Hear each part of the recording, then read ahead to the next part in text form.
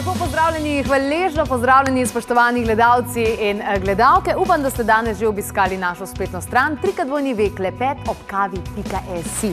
No, tam boste našli marsikaj takega ne, v življenju. In sprašujem se, ali ni pravzaprav zelo zanimivo, da, da se v šoli učijo recimo ne, zgodovino, pa kemijo, pa vse te različne take in drugačne predmete, nihče pa nas ne uči življenja. Življenjskih okoliščin, v katerih se lahko vsak človek znajde, in mogoče za marsikoga najpomembnejše, ne, da nas nekdo nauči partnerstva, kako bi sploh moglo biti partnerstvo, uspešno partnerstvo. In eh, Manca Razboršek, ki je sicer life coach, lahko bi to prevedli kot učiteljica življenja, pravi, da je pravzaprav predpogoj za uspešno partnerstvo ravno to, da imamo dober odnos sami s sabo, se pravi, da se imamo rade oziroma da se imamo vsi skupaj radi.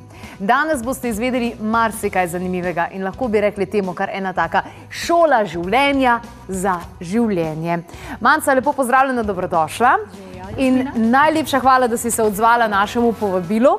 Nad vse se veselimo tudi uh, prihodnjega vikenda, ko se bo zgodila ta delavnica. Uh -huh. Uh -huh. Ampak še predtem, uspešno partnerstvo. Kako to zgleda v bistvu, sploh, da si predstavljamo? ja, zdaj, v bistvu za vsega drugačne, ker mi moramo najprej vedeti, kaj mi pričakujemo od partnerja, od partnerstva, od tega, kaj sploh želimo. Ne? Tako da tukaj definicije je veliko, ampak načeloma si pa vsi želimo biti izpolnjeni, vsi si želimo deliti lepe trenutke in tudi manj lepe trenutke, a ne se vemo, ko so lepi trenutki, hitro rabiš nekoga, da rečeš, le je to, da potrdiš, ne? in ko so težki trenutki, tudi rabimo nekoga, ki nam ponudi ramo, kjer lahko smo žalostni, ker smo lahko uh, ranljivi, pravzaprav, in da lahko se naslonimo in rečemo, danes mi je pa težko, pa da en reče, se bo jutri boljš, ne? da imamo neko oporo. Mogoče je to ena taka tista čisto osnovna misel oziroma želja vsakega, ne? da bi nekoga imel ob sebi, ki, ki s komer lahko deli oziroma s komer lahko uh, tudi težke trenutke preživlja lažje. Se pravi, bi lahko rekli, da je uspešno partnerstvo nek občutek, ki ga imamo ob nekom. Verjetno si uspešnega partnerstva tašnega želite tudi vi. Ampak pomembno vprašanje, v če se zdaj to odvisno? Zdaj tako je, ne? vemo, da tako kot je znotraj, je tudi zunaj. Se pravi, tisto, kar je znotraj nas, neizpolnjeno, bomo največkrat iskali zunaj nas. In potem iščemo nekoga, ki bo zapolnil našo notranjo praznino. Ne? In če mi sami sebe nimamo radi, potem iščemo nekoga zunaj sebe, ki bi nas imel rad. Ampak ne gre tako, ne? ne bo se kar nekdo pojavil in nas imel rad, mi bomo pa sami sebe vedno dajali v noč, nikoli ne bomo se nikamor, uh, bom rekla, dal ven ali pa se pokazali, ravno zato, ker iščemo to zunaj sebe. Ne? In tudi, če pride nekdo in reče, jaz tam pa to, kar se ne bomo verjeli. Ne? To je najmogoče najbolj žalostno od vsega. Da potem pa pride nekdo, pa nas ima grozen rad, ampak če mi nimamo tega v sebi, potem ne bomo verjeli. Sploh ne bomo verjeli. To si, to si je zmislil, ali pa sigurno ni res, ali pa tako in ne pomaga. Ne? Zato moramo najprej zanimivo. Sebe. Mi dve imamo datum za tale najnklepet ja. že kar nekaj časa ja, in blazno sem se ga veselila. In uh, zato sem tudi mečkeno raziskovala in sicer sem uh, prijateljice, kolegice, znanke pravzaprav spraševala, kašnega partnerja ti iščeš. Uh -huh. In veliko krat sem slišala odgovor, tašnega, ki me bo dopolnjeval. Uh -huh. Kaj pa je za dopolniti? to je spet ta praznina znotraj nas in potem iščemo nekoga, ki bo, ki bo to zapolnil. Ne, imamo določene potrebe, ki, kjer spet iščemo nekoga, ki bo to uh, zadovoljil, in potem se ustvarjajo pričakovanja. Namesto da bi se vprašali, kaj pa jaz lahko ponudim v partnerstvu, kaj pa jaz lahko dam partnerju. In takrat potem lahko šele dobimo nekoga, ki bo tudi na enakem nivoju lahko nekaj prinesel v partnerstvo. Ker jaz mislim, da ključno v partnerstvu je, da lahko delimo sebe v celoti. Da pa kdo pa jaz sem v celoti. Ne? Kdo pa jaz, ko sem postavljena v svoji energiji, kdo sem in takrat lahko dobim nekoga, ki ima enako oziroma podobno vibracijo in skupaj nekaj ustvarjava. Če, če sem pa jaz samo polovica, Ne? Potem pa iščem oziroma pritegnem nekoga, ki je tudi samo polovica in se spet ne bova ujela. Ne? Tako da tudi vibracijo je tukaj treba zelo močno upoštevati, Kakš, kakšna je v nas in to, kar je v nas, to bomo pritegnili. Zelo zanimivo. Bom rekla, simpel matematika. Ne? Simpel matematika. Potrjujem, moje življenje to potrjuje. Imela sem nekaj partnerjev, ki me niso spoštovali, uh, so me sicer bili radi, ampak ni bilo to to. In pol na koncu sem ugotovila, aha, v bistvu jaz tega nimam do sebe in pa sem sklenila, veš kaj, da zdaj bom pa jaz v zvezi sama s sabo.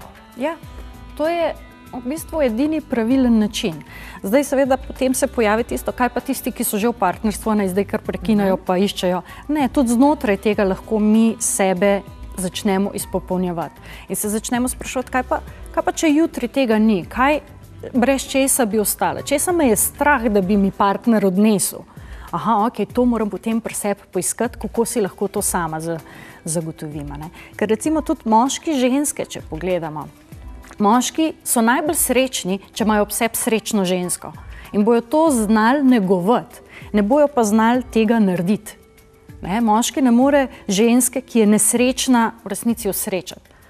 Lahko pa ženska, ki je že srečna, lahko ji pomaga, da to vzdržuje oziroma še nadgradi. Tako da tukaj, tukaj je treba upoštevati tudi to žensko, moško energijo, ker vsak nekaj, nekaj svojega da. In to je mogoče tisto dopolnjevanje, ki ga tudi iščemo, in pa jank. Uh mhm. -huh. Tako da tukaj se eh, seveda. Potem spet vibracijsko uskladijo stvari. Ne? Bolj kot sem jaz prazna, bolj bom pritegnila partnerja, ki je prazen. Bolj kot sem jaz polna, bolj bom pritegnila partnerja, ki je tudi poln. Ampak najprej moram pa sebe postaviti. Zanimivo, res zanimivo. Uh, je s to tematiko, o kateri danes govorimo, povezano tudi uh, tole dogajanje prihodnji vikend? Ja, uh, zdaj naslednji vikend je prav avtentični vikend. Uh, za dušo in telo, tako sem ga poimenovala, in prvi dan bomo dejansko pogledali lastno energijo. Kdo sploh mi smo? In kje so tiste naše dimenzije, znotraj katerih se potem uh, lahko najdemo, znotraj katerih se iščemo, kje nam manjka, kje je rekla, mogoče nepretočno znotraj energijskega polja, zato da bomo svojo energijo postavili. In potem naslednji dan se bomo pa lotili partnerstva oziroma uh, partnerskih odnosov, tako imenovanega avtentičnega partnerstva, ki ga pa zavestno ustvarjamo. Ne? In da bi ga zavestno ustvarjali, moramo poznati spet in razumeti dinamiko uh, znotraj odnosov. Ne, ni to samo za partnerje, zapravo ni samo za nekoga, ki je že v partnerstvu, ker vse, vsa ta znanja pravzaprav delujejo v vseh odnosih. Se pravi, vedno, vedno smo nekje v nekih odnosih, kjer lahko ta znanja oziroma izkušnje, ker jaz zelo delam skozi izkušnjo, skozi različne vaje, tako da res ljudje začutijo vse te razlike v energiji, v na katerem nivoju energijskem se nahajajo, kje ni pretočno, kje se zatakne. Uh, tako da to bomo res poglobljeno naredili. Uh mhm. -huh. Moram reči, da sem uh, precej raziskovala tudi po uh mhm. -huh. tvoji spletni strani, manca.si. In najbolj všeč mi je bilo, uh, ker sem prebirala o tej vlogah, ne? vlogi ženske in vlogi moškega. In zanimivo, ne se mogoče na nek način malo to od babic poslušamo, ne, ampak smo zdaj v takih norih časih, kjer je vse normalno. v bistvu ja, iščemo se, ne, ker te, jaz rečem, te stare vloge ne funkcionirajo več na enak način. So posodobljene, so nadgrajene. Ne? Tako kot jaz dam velikrat primer iz računalništva, ker nam je recimo sorazmerno blizu. Če primerjamo nek operacijski sistem, kot je Windows danes ali pa neki takrat, ko se je začel, je to ena čist druga zgodba. In če si se takrat učil računalništva, danes to skoraj nič več ne vala. Enako je v odnosih, nekaj, kar je v nekih drugih časih funkcioniralo za naše babice, pa tudi za naše mame še mogoče, v današnjih časih ne funkcionira več. In zato se je treba dejansko naučiti kaj pa zdaj je, kakšne so pa zdaj te vloge ženske, pa vloge moškega. Ker včasih tradicionalna vloga, seveda, je bil moški kot tisti, ki je skrbel za družino, ki je prinesel provider. provider Čeprav v Sloveniji tudi ne, ne, so bile tudi ženske vedno zelo delovne. Žen, žena oziroma ženska naj bi bila pa mati, negovalka in tako. Ja, se veš, kako gre. Žena naj bo doma, ja, čaka ne. naj na moža. Ja, ne vem, no. ja, ne? In, ampak to so vzorci, potem, po katerih ljudje kar živijo in so nesrečni in pa se sprašujejo, kaj je narobe. Ne? Treba je pogledati, kaj lahko izboljšamo. Ne? Zakaj? Ker jaz tako pravim, če ne bi želeli stvari izboljšati, pa bi še zmeraj lahko v votlinah živeli. Ne? Nekaj me zanima.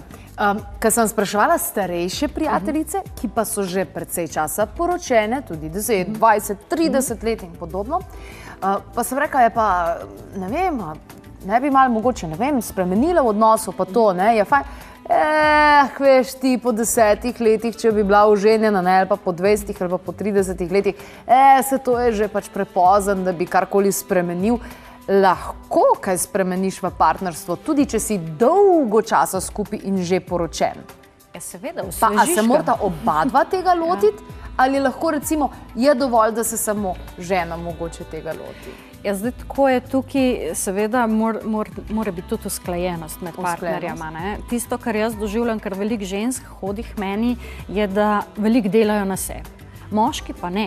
ne. Oni so pa kar v redu in jim štima in za njih ni nič narobe. Uh, in tisto, kar se zgodi, je, da velikrat ta vibracija med partnerjema postane, razlika v vibraciji postane prevelika. Ne? Dokler mi vibriramo, približno enako še gre, ne? pa dokler je še malo razlike, tudi če gre. Če pa prevelika vibracija, pa enostavno ne gre. Zakon privlačnosti naredi svoje. Ne, oziroma, potem je to že zakon odboja, ker enostavno mem en drugega odvibrirate lahko. Mm.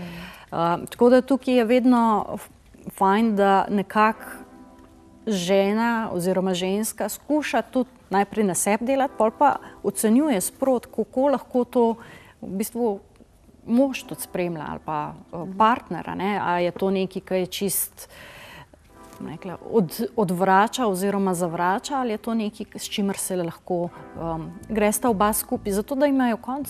Konec koncev boljša. Zdaj, jaz tudi se srečujem z ženskami, recimo tam pri 45, 50, kjer enostavno ne, je vse že stvar navade. Ampak po drugi strani ima pa en tak par pred sabo z lahkoto še 20 let skupnega življenja. Ne, pa pravijo pa hkrati, eh, brez veze. Ne. Zakaj? Ja, za naslednjih 20 let mogoče. Seveda. Mislim, nismo prestari. Ne? Nikoli nismo prestari, da bi lahko sebe izboljšali. Ne? Zdaj, če se pa ljudje pač dobro počutijo v tisti svoji coni obdobja in ne želijo nič narediti, ja. pa. Cona obdobja, ja. najlažje je pa na ja. kavču sedeti, pa migati. Ja, ja, ja se ima ja. prav, se ima prav, sam dejansko treba kaj narediti. Um, energetska higiena za prizemljitev in utelešanje, pa higiena za svetlobno telo. Veš kaj, tole me zanima. Uh, v nedeljo boste imeli tole tri stopnje partnerstva. Ja. Prej smo se že malo dotaknili, sem rekla, tradicionalna partnerstva. Uh mhm. -huh. To so To, so, to je tam, kjer sta drug drugemu zadovoljevala potrebe. Ne? Se pravi, uh, že, ženska oziroma žena kot tista, ki je rabila materialno podporo ne? in moški, ki je to zagotavljal in sta drug drugemu določene tudi čustvene potrebe zadovoljevala. Ampak v tem načinu seveda ne gre dolg, zato ker strahovi se pojavijo, kaj če partnerstvo razpade, mm -hmm. pojavi se vse sorte. Zato se potem v samem razvoju začne razvijati tako imenovano enakovredno partnerstvo, ker ženska potem ugotovi, da se jaz pa moram zadovoljiti svoje lastne potrebe oziroma tisto, kar, um, kar drugače pričakujem od moškega, zato da sem lahko avtonomna na nek način. Ne. In to je druga stopnja. To je druga stopnja potem, ja? tako da se premaknemo na to drugo stopnjo. Uh, ampak ta druga stopnja potem postane, da dava vsak samo pol pol. Ne, se pravi, jaz dam polovico, ti daš polovico. Nikoli se pa v resnici ne odpreva drug drugemu v celoti. Zato, ker se še zmeraj bojim, da bom zdrsnila nazaj v tisto tradicionalno vlogo in da bom nekoga potrebovala. Ne. To je tisto, kjer se postavljamo, ta stopna je nekako nujna. Potem tretja stopna je tako imenovano avtentično partnerstvo, kjer pa skupaj lahko ustvarjava, kjer pa skupaj lahko rasteva. Ne, se pravi, kjer drug drugega spodbujava, da postajava najboljša verzija sebe, hkrati pa še skupaj nekaj kreirava in ustvarjava. In potem se to skozi pretaka in ostaja partnerstvo živo. Ne? Ni tisto, da se kar postavi neka apatija, da vse skupaj nekam dol pade ne? in pač živita iz dneva v dan. Ne? Dolg čas je to. res je. Ne? In ljudje nismo narejeni za dolg čas. Kako zdaj prideti na to tretjo stopnjo? Ful se fajn sliši. Bolj se fajn sliši, in uh, ni to, seveda, z danes na jutr. Ja. Uh, to je proces, skozi katerega je treba jeti. Iz prve ne moreš na tretjo. Ne, ne moreš kar preskočiti. Ne, ne gre. Je treba jeti skozi tisto, da sam sebe postaviš in da, da potem vstopiš v avtentično partnerstvo brez strahu, kaj pa bo, če on odide. Zato, ker vem, da sem dovolj avtonomna in samostojna, da si sama zadovoljim svoje potrebe. Na čustveni ravni, tudi na mentalni ravni, po končni fazi tudi čist fizično, uh, na fizični ravni. Se pravi, preživetje, uh, moji, vem, moji stroški, moja služba, moj posel, se tudi tukaj izpopolnjujem lahko. Ne. In to je zdaj nekje, kjer je tudi kolektivna energija, tem, na tej drugi stopni nekako se uh, vsi znajdemo. Manca, ti si life coach za neverjetno veliko število slovencev. S čim imamo največ težav? Ah, pravzaprav z strahovi bi jaz rekla. Strah nas je glih čisto vsega, po domač povedan. Uh, strah nas je, kaj bojo drugi rekli, strah nas je, kaj bo jutr, strah nas je, kaj bo pojutrišnjem, strah nas je tega, da bi karkoli spremenili, strah nas je svoje lastne mehnosti, hkrati nas je strah tega, da bi bili veliki in sposobni. Tako da cel kup enih strahov je prisotnih uh, v ljudeh. In tukaj je Spravo, edina pot je skozi uh, strah, ne, ne moreš ga ubiti, ne, ne gor, ne dol, ne levo, ne desno, ampak moraš iti skozi in takrat ga usvojiš. Ne, in takrat te potem tega ni več strah, ker vidiš, da si preživel in da se svet še vedno vrti. In takrat greš lahko naprej, ampak zato je pa potrebna akcija. In zato so potrebna nova znanja, in zato so potrebne delavnice, zato rabiš nekoga, ki je mogoče že šel čez vse to, da ti pomaga. Ne? Ljudje bi radi kar sami vse. Ja. Ampak ne gre, ne? včasih rabiš nekoga, da te porine, da ti pokaže tvojo slepo pego. Ne? Tudi jaz jo imam, ne? jo nočem videti, kakšne stvari. In potem potrebujem nekoga, da pravi, le ti ja, poglej. Pa ne, ne bi ti ja, poglej. Ne? Poglej. Aha, okay. ja. Jaz eh, se veliko krat razjezim ne, na naše člane ekipe, ki so mi kot družina. In uh, včasih pridem do kakšne ugotovitve in pa mi rečejo oni, ja, pa se to nam je jasno. Ja, zakaj mi noben tega ni povedal? Ja, pa, pa, pa, pa, pa, pač ti nismo. Ne? In tukaj je tisto, life coach je pa pravzaprav neprizanesljiv. V tem smislu, da ti pove tudi tisto, kar ti nočeš videti in si leta in leta mečeš vrhunski pesek v oči. Ja, bistvo nekoga, ki je life coach, je, da ti točno to pokaže.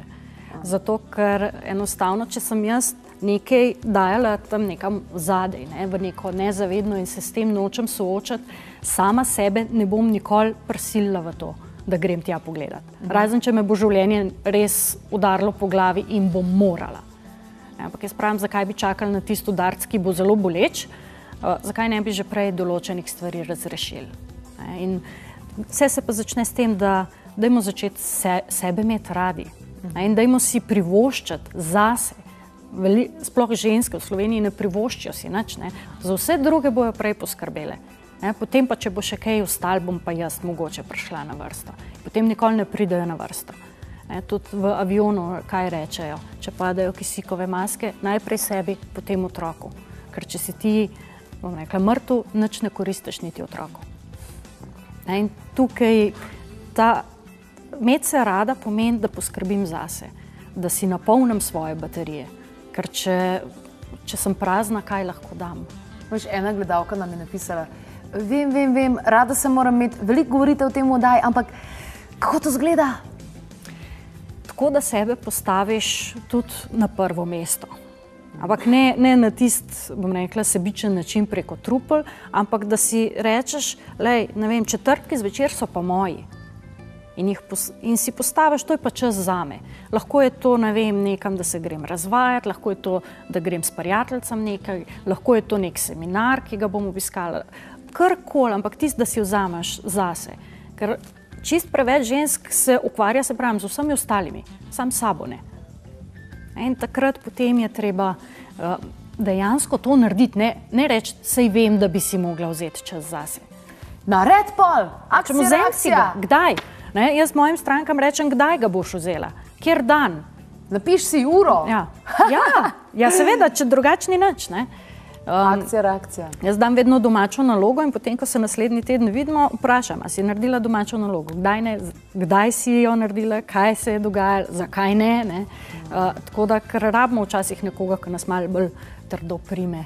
Um, drugač, hitro pademo v svoje navade, A, pa v obdobje. Zanimivo. Ja. Najlepša hvala, Manca, za vse te besede, ki si nam jih namenila. Tako le, spoštovani gledalci in gledalke, predvsem pa gledalke, slišali ste, čas je za akcijo, reakcijo, dosti je bilo čakanja, da bo nekdo drug zapolnil vašo praznino. Same morate to narediti in imejte se rade. Na kakšen način? Na takšen način, da se samo negujete, da si vzamete čas za svoje stvari, tiste, ki jih imate rade, kaj pametnega in zanimivega preberete. No, če boste pri tem, pa kar na trikrat dvojni ve, klepet ob kavi, pika si.